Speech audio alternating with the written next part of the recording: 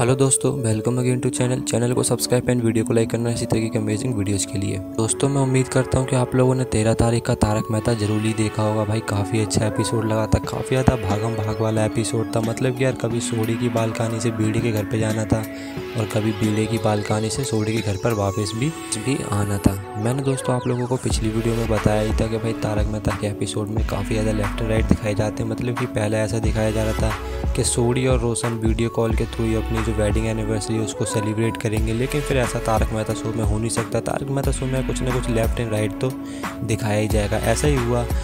रोशन ने अचानक से आके गोकुलधाम सोसाइटी में सबको सरप्राइज़ कर दिया और तो अब आप लोगों को पता चली गया था कि सोडी तो पार्टी शार्टी कर रहा था अपने दोस्तों के साथ और वो भूल चुका था कि रोशन आज उनकी वेडिंग एनिवर्सरी क्योंकि उसको लगा था कि वो तो वीडियो कॉल के थ्रू ही बात करेंगे तो कैसे पता? चल जाएगा। लेकिन यार, तारक मेहता का शो है, कुछ भी सिंपल नहीं हो सकता। और रोशन सिंह सोडी एकदम इस चीज़ को भूल गया था।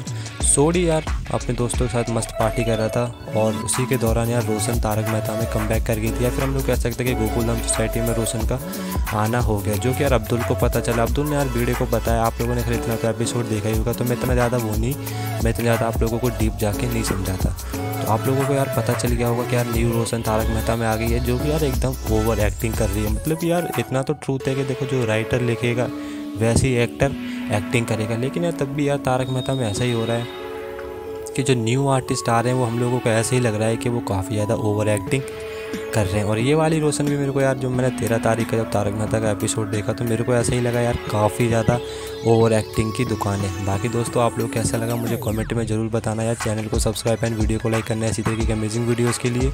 और आप लोग मेरे को ज़रूर बताना कि आप लोगों को तारक मेहता का ये वाला एपिसोड कैसा लग रहा है। मतलब यार इतना तो है कि जेठालाल के ऊपर कोई परेशानी नहीं आई।